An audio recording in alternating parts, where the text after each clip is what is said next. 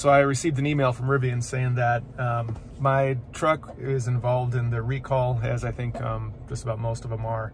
So I am driving to the um, Denver Rivian Center to um, have have the work done. They say it's quick, and they have a almost like an assembly line set up, so it shouldn't be any problem. So um, we'll check it out.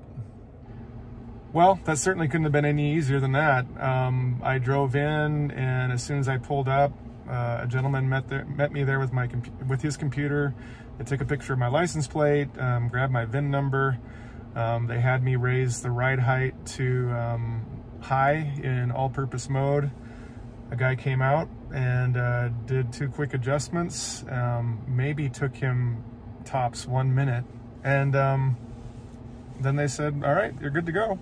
Um, the only hiccup is that they were trying to send me an email for me to approve the work order, but um, it never came. And I, you know, of course, approved it just by rolling up and being here.